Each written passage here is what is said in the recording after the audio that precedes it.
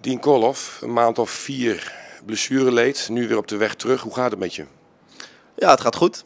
Uh, gisteren de, ja, voor het eerst weer met de groep buiten getraind. En uh, ja, ik moet zeggen, uh, eigenlijk niks te klagen. Het, is, het ging goed.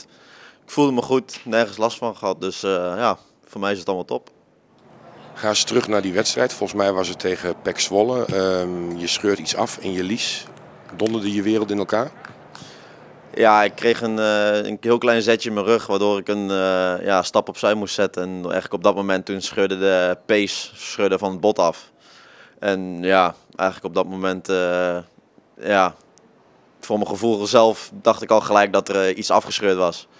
En dan ja, lig je daarna binnen in de kleedkamer. En dan ja, is de eerste gedachte wel echt dat je, ja, dat je er eigenlijk, eigenlijk helemaal doorheen zit. En dat je ja, weet dat je weer een lange weg te moet, tegemoet gaat.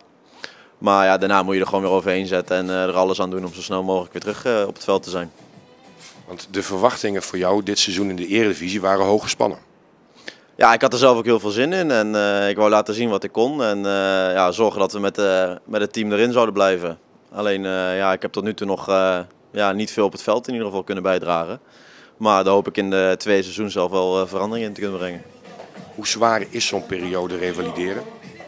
Ja, aan het begin was het heel zwaar. Omdat ik zes weken lang helemaal niks mocht doen.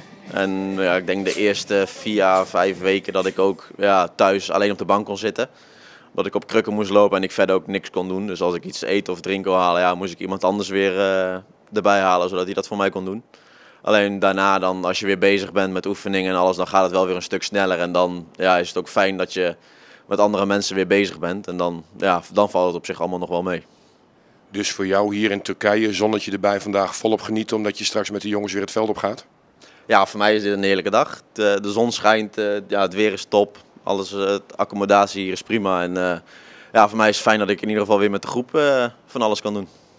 Op hoeveel procent zit jij nu?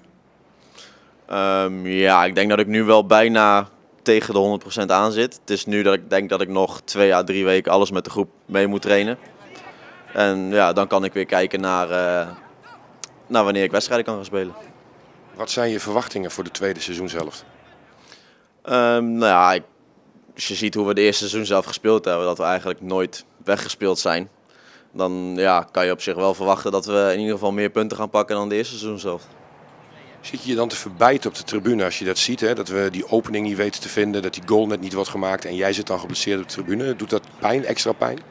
Ja, dat is natuurlijk niet fijn. Nee. Je, je weet, uh, als je ziet hoeveel kansen we soms gehad hebben en dat de bal elke keer net niet erin gaat, dan ja, is dat als je op de tribune zit, dan is dat nog extra zuur voor je. Omdat je weet dat je ja, zelf het liefst op, die veld wil staan tussen, op, op het veld wil staan tussen de jongens.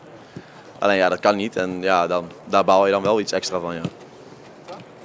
Hey superboer, heb jij jouw halve seizoenkaart al? Kijk op www.degraafschap.nl voor meer informatie.